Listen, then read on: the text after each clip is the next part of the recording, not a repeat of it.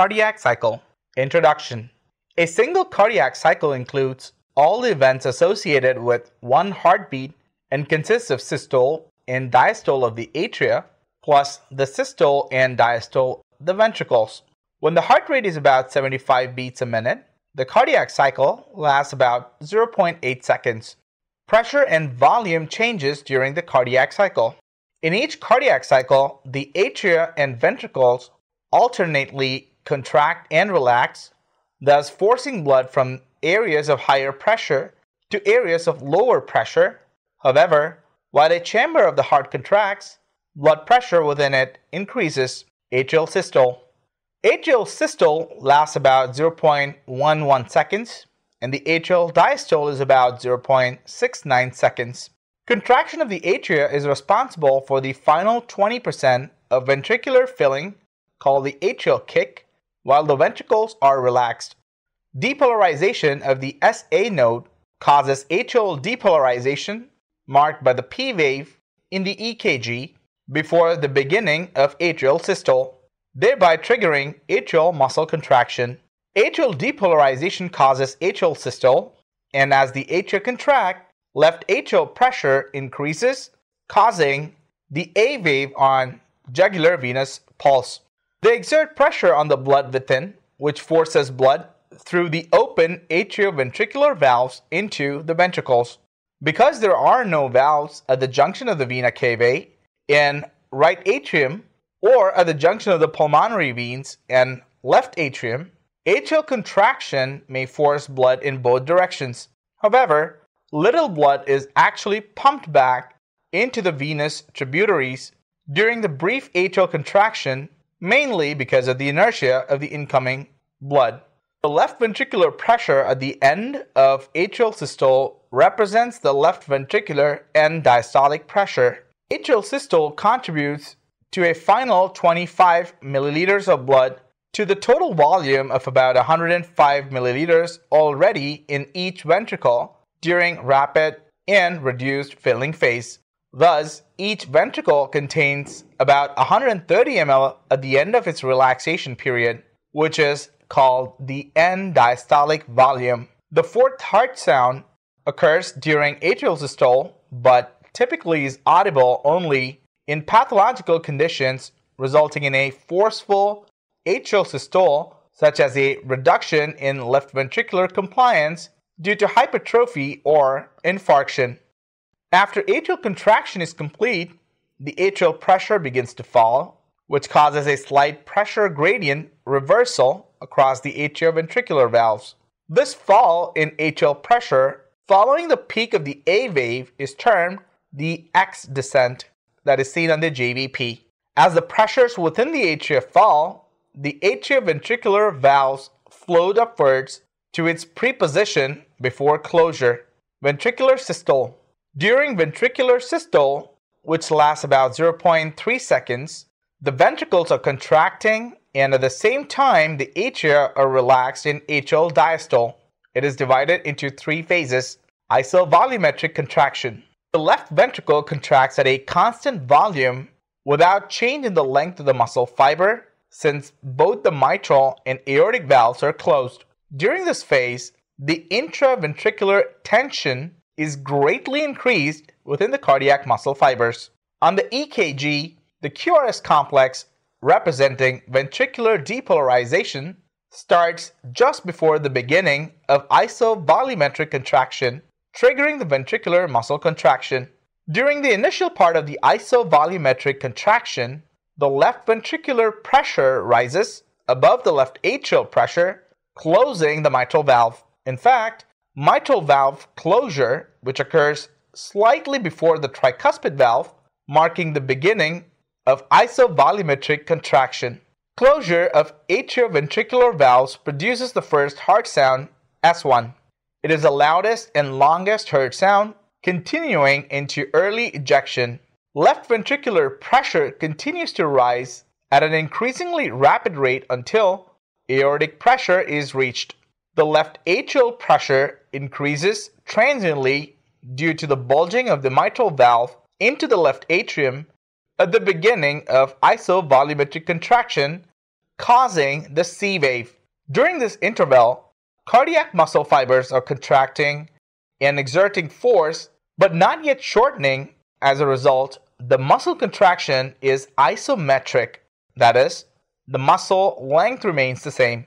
Moreover, because all four valves are closed, ventricular volume remains the same, hence isovolumic at the end diastolic volume. Ventricular pressure and volume changes during this phase.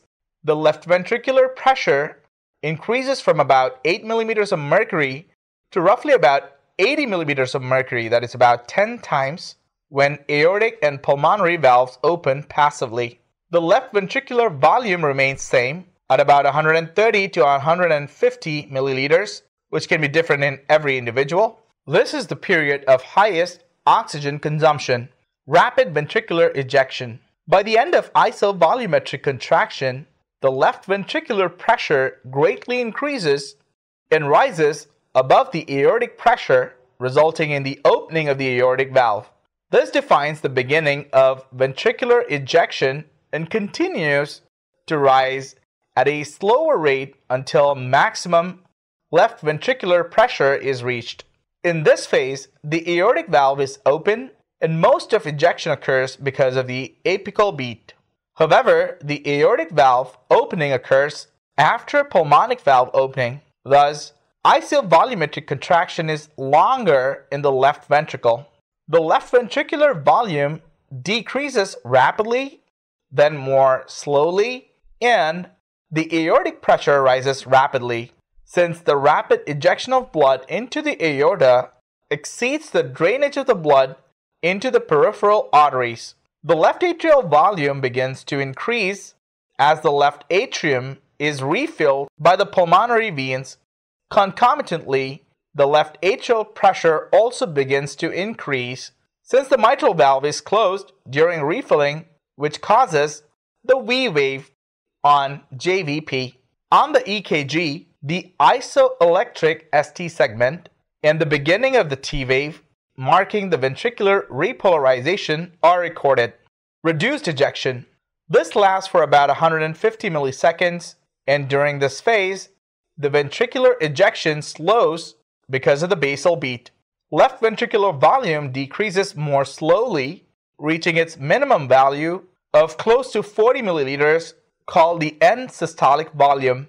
The left atrial volume continues to increase due to continued refilling of the left atrium, and the left atrial pressure also continues to increase, increasing the magnitude of the V wave. The end of T wave is recorded on the EKG. Pressure and volume changes during this phase. The pressure increases first from about 80 millimeters of mercury to 120 millimeters of mercury, and then decreases until aortic and pulmonary valves close. Volume ejection of about 90 milliliters which is called the stroke volume, occurs during this phase, and the end diastolic volume of 130 milliliters has now changed to 40 milliliters of end systolic volume. Ventricular diastole. The coronary arteries fill with blood during diastole because they are compressed during ventricular systole. Its duration depends on heart rate and can be divided into five phases. Protodiastole. At the end of the ejection phase, the pressures in the ventricles and the aorta are almost equal, and to close the semilunar valves, the pressure in the ventricles must be less than the pressure in the aorta and pulmonary artery. For this reason, the ventricular pressure is slightly reduced, which closes the aortic and pulmonary valves. A slight drop in the ventricular pressure is represented by a notch in the action potential graph of the cardiac muscle in phase 1. Closure of the aortic valve produces the characteristic incisura or dicrotic notch on the descending limb of the aortic pressure curve, and it also produces the second heart sound. The incisura marks the end of the ventricular systole and beginning of the ventricular diastole. Isovolumetric relaxation. The period between closure of the semilunar valves and opening of the atrioventricular valves is termed isovolumetric relaxation. It is characterized by a precipitous fall in ventricular pressure without a change in ventricular volume. The beginning of the isoelectric TP segment is recorded on the EKG. Rapid ventricular filling. At the end of isovolumetric relaxation phase, left atrial pressure is above the left ventricular pressure, maintaining a pressure gradient for ventricular filling. Left ventricular pressure falls below the left atrial pressure, opening the mitral valve, which defines the beginning of ventricular filling. Left ventricular pressure continues to fall in parallel with left atrial pressure. However, the left ventricular volume increases rapidly as the left ventricle fills. The left atrial volume decreases rapidly as blood flows into the left ventricle, and the left atrial pressure starts at the peak of the V wave, then falls as the left atrium unloads, represented by the Y descent. The third heart sound coincides with rapid ventricular filling and can be a normal finding in children and young adults, but is audible only in pathological conditions in adults over 30 to 35 years of age. The isoelectric TP segment is recorded on the EKG. Reduced filling phase or diastasis. It is a period of slow ventricular filling and its duration depends on the heart rate. The left ventricular pressure and left ventricular volume slowly increase due to the slow filling. The aortic pressure decreases slowly due to the drainage of blood into the peripheral arteries. This small, slow addition to ventricular filling is indicated by gradual rises in atrial, ventricular, and venous pressures and in ventricular volume. The end of the isoelectric TP segment is recorded on the EKG. Points to ponder. During isovolumetric contraction and relaxation, all heart valves are closed. There are no periods in which all heart valves are open. During states of increased heart rate, like during exercise, the duration of diastole decreases so that there is less time for the coronary arteries to fill with blood and supply the heart with oxygen.